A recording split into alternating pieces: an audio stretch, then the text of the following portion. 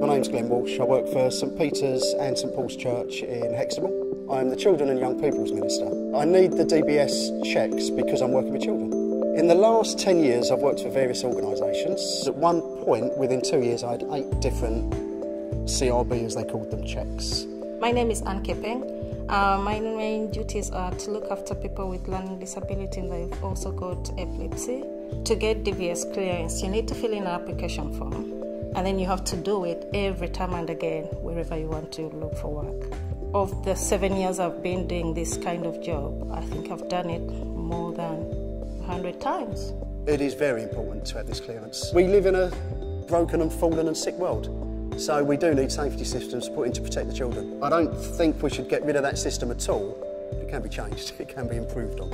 You can wait for like six weeks waiting for a clearance and you are seated at home, you spent money and you don't have anything to do and you're just so frustrated. We've already given them all the information relevant. It's done. They've got it. It's on the system. It's been paid for. So why am I doing it, like I said, eight times to the same place, the same information for the same results with a cost each time?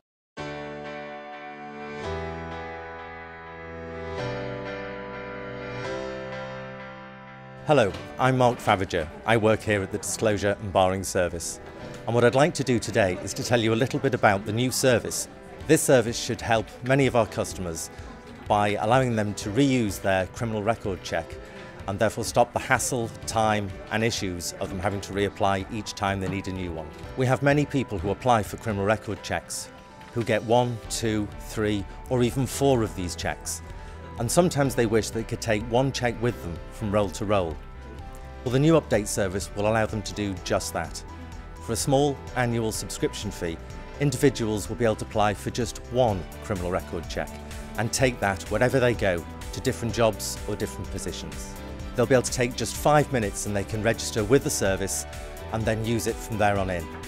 That's what we've been really waiting for since we've been doing this for years and complaining about it. I think it's going to make quite a bit of difference. It makes life easier.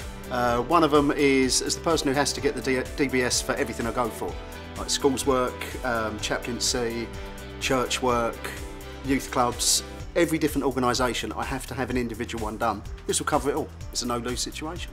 It will make a difference for me because it will be faster and efficient. Once I apply, I put in an application to a job, I know I will start like two days or three days after that, after my references, so it's going to be faster. Actually, I think they've listened to me.